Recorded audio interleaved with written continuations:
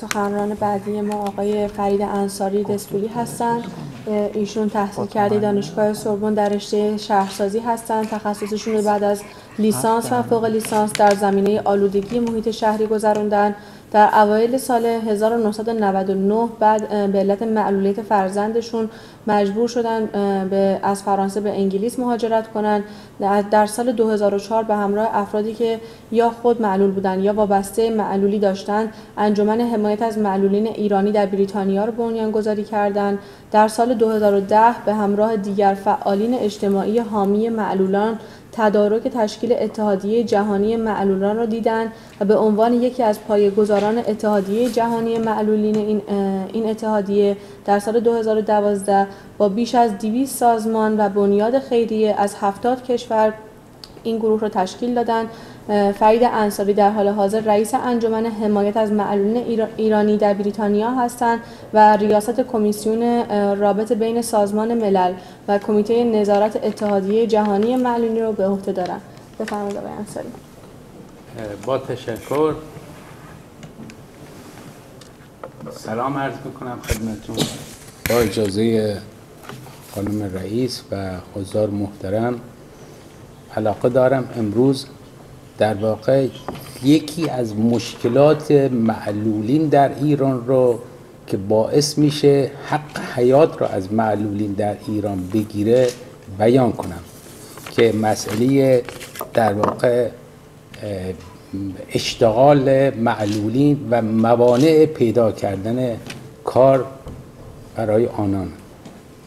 افراد دارای معلولیت در ایران با مشکلات زیادی دست به گریبانند. از دبود قانون حمایت کننده گرفته تا نگاه غیرعادی مردم به آنان. معلولان از حقوق و امکانات برابر اقتصادی اجتماعی سیاسی فرهنگی و انسانی برخوردار نیستند. حمایت از حقوق انسانی و شهروندی آهاد ملت وظیفه دولت ها در همه جوامع و برای همه شهروندان می باشد و نباید هیچ استثنایی وجود داشته باشد. یک معلول به عنوان یک شهروند دارای حقوقی است که این حقوق در بسیاری موارد نادیده گرفته می شود یکی از نمادهای نادیده گرفتن این حقوق بیتوجهی به وضعیت شغلیشان است که نتیجه اون در برای این قش از جامعه نداشتن درآمدی برای ادامه حیات و نرسیدن به استقلال مالی جهت خودگردانی عدم حضور در اجتماع و برخوردار نبودن از زندگی بهتری می باشد در ایران اساسا آمار مشخصی در مورد معلولین نیست. بر اساس قانون حمایت از حقوق معلولین سه درصد از استقدامی های دولتی و غیر دولتی باید از افراد معلول باشد. اما بیکاری یکی از مشکلات اصلی معلولان به ویژه زنان در ایران می باشد مسئولین مرتبط با حوزه معلولان آمار دقیق ارائه نمیدن تا بتوان نرخ بیکاری در میان معلولان را از آن طریق معین کرد. آنان اساساً با این آمار بازی می کنند و هر ارگانی عددی را اعلام می دارند هیچ گونه آمار روشنی که در مورد معلولین باشد وجود ندارد. بر اساس سرشماری سال 2006 از جمعیت 70 میلیونی فقط یک میلیون دویست هزار نفر معلول شناخته شدند و در سال 2011 پنج سال بعد علا رقم این که جمعیت ایران بیشتر شده تعداد معلولین کمتر میشن. در این سرشماری تعداد معلولین در ایران یک میلیون و پنجاه هزار نفر رقم زده میشه. که طبق این آمار حدود 350 هزار نابینا حدود 600 هزار فرد دارای معلولیت جسمی و حرکتی و حدود 350 هزار ایرانی دارای اختلال ذهنی هستند. در واقع اینجا توی این آمار معلولین روحی روانی رو آمار نداریم. برخی کارشناسان آماری معتقدند که آمار واقعی معلولیت بیشتر از دوازده درصد جمعیت ایران است و نشان دادن آمار افراد دارای معلولیت در یک جامعه در حدود یک درصد و نیم غیر قابل پذیرش و غیر قابل باور است. در اصل این آمار در مقایسه با آمار جمعیتی سراسر متناقض هستند. پرسش این است چگونه سرشماری سال 2011 می‌گوید فقط یک ممیز 36 درصد افراد جامعه دارای معلولیت هستند اما دکتر توانگر یکی از مدیران سازمان بهزیستی که به نوعی وزارت معلولین ایران است در ده نوامبر 2014 آمار معلولین را 11 درصد کل جامعه اعلام می دارد یعنی چیزی حدود 8 میلیون نفر.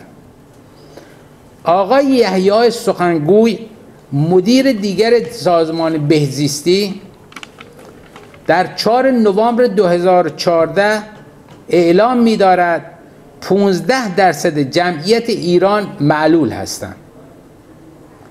یعنی 11 میلیون و 550 هزار نفر. دارای معلولیت هستند یکی از نمایندگان مجلس که فراکسیون معلولین را در مجلس شورای اسلامی داره رئیس این فراکسیون هست اعلام می‌کنه که خانم آلیا در 6 ژانویه 2014 اعلام می‌کنه برآورد ما از تعداد معلولین چیزی حدود 7 میلیون نفر است. آمار دیگری آمار دیگری می‌دهد که آمار رسمی را زیر سوال می‌برد. سرشماری سال 2011 می‌گوید یک ممیز 36 درصد افراد جامعه دارای معلولیت هستند و نرخ بیکاری در این افراد 21 درصد است.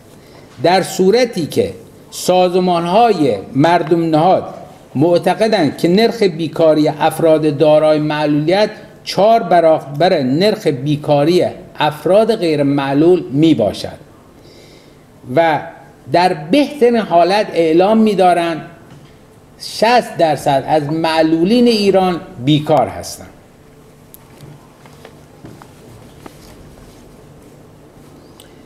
طبق آمار سال 2008 از 3 میلیون معلول واجد شرایط کار فقط 600 هزار نفر به نوعی مشغول به کار بودند یعنی اکثریت معلولین در ایران بیکارند و در تنگنا به سر می‌برند. در ایران نه فقط برای معلولین بلکه برای همه افراد. در ایران کسی که شغل ندارد زیر پوشش بیمه تأمین اجتماعی نخواهد بود. و بدین ترتیب کسی که تأمین اجتماعی نداشته باشد مستمری بازنشستگی نخواهد داشت. و بر همین اساس در دوران سالمندی هم امنیت روانی و مادی برای این افراد وجود نخواهد داشت. زیرا حق بیمی پرداخت نشده است. خب حالا عوامل در واقع بیکاری چرا اینها نمی‌تونن کار پیدا کنن؟ این افراد. یکی نگاه دولت مردانه مقامات رژیم جمهوری اسلامی به معلولان نگاهی غیر مسئولانه دارند و برای خود هیچ گونه مسئولیتی در قبال معلولان برای ارائه خدمات قائل نیستند مثلا در اجرای قوانین معلولان دولت موظف است که خدمات بهداشتی تحصیلی و شغلی را در حد قابل اتکایی برای افراد دارای معلولیت مهیا سازد. اما این قوانین به دلیل اختصاص ندادن بودجه کافی و در اولویت نبودن رفاه این قش از جامعه مسکوت نگاه داشته می شود دولت در بوجه بند بوجه بندی سالانه بودجه نازلی به معلولان واگذار می کند برای مثال بودجه سالانه که به حوزه های علمیه و نهادهای اسلامی مذهبی اختصاص می داده می شود بسیار بالاتر از بودجه است که به سازمان بهزیستی برای رفاه معلولان سالمندان و زنان سرپرست خانواده ها واگذار می شود.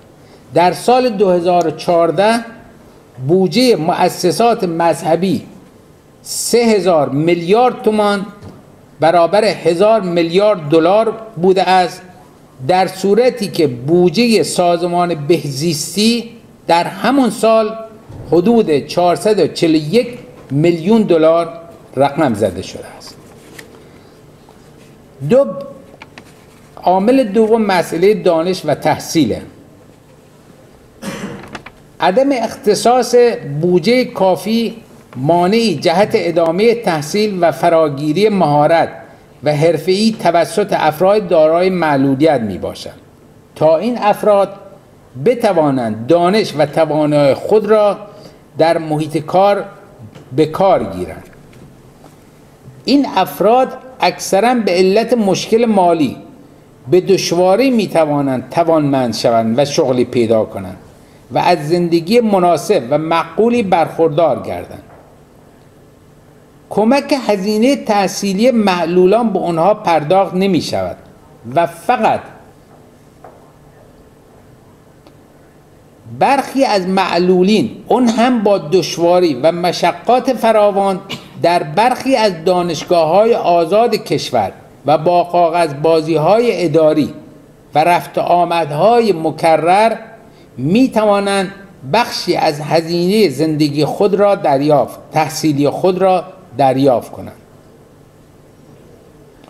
با عدم پرداخت هزینه تحصیلی افراد دارای معلولیت فرصتهای آموزشی را از دست داده و وارد بازار کار نمی شوند.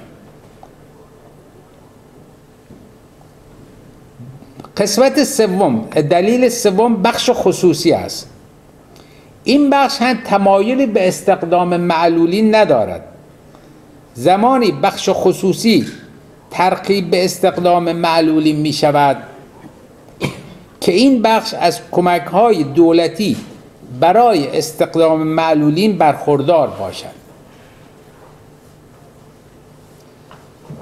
هنگامی بخش خصوصی به استقدام معلولین اقدام می کند که برایش مقرون به صرفه باشد.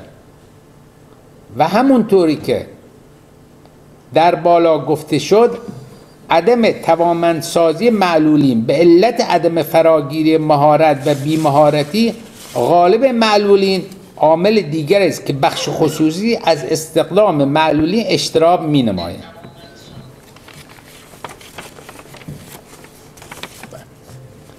خب بخش چهارم علت چهارم بخش دولتی. بخش دولتی هم مثل بخش خصوصی در واقع معلولین رو استقدام نمی‌کنه.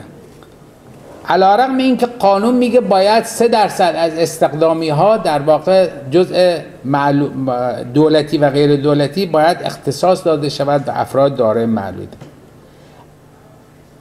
اما شاهد هستیم حتی سازمان در آزمون استقدامی آموزش پرورش نه تنها این سه درصد رعایت نمی شود بلکه به طور کلی معلولان از چرخه استقدام در وزارت خانه آموزش پرورش حذف شدهاند.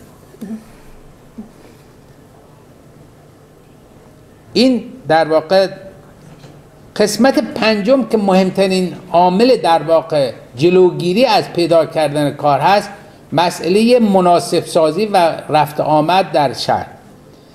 یکی از عمده موانع پیدا کردن کار توسط افراد دارای معلولیت مشکل رفت آمد آنها می باشد.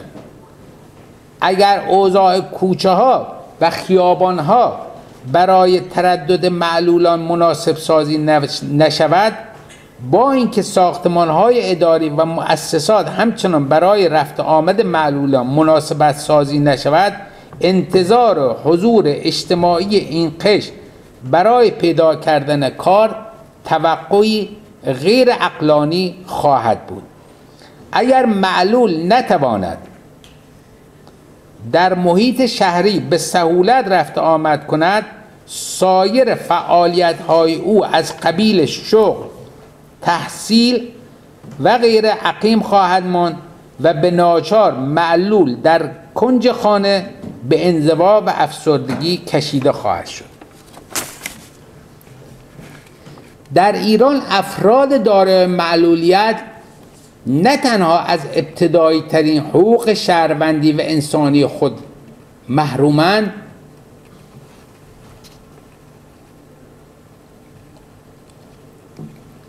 بلکه از ابتدایی ترین امکانات دسترسی برای خروج از این وضعیت نیست برخوردار نیستند. معلولین ایرانی همانند دیگر اخشار اجتماعی ابزاری برای بیان مطالبات خود ندارند. اونها نیز مثل دیگر اخشار از رسانه ها و تشکل های مستقل محروم هستند.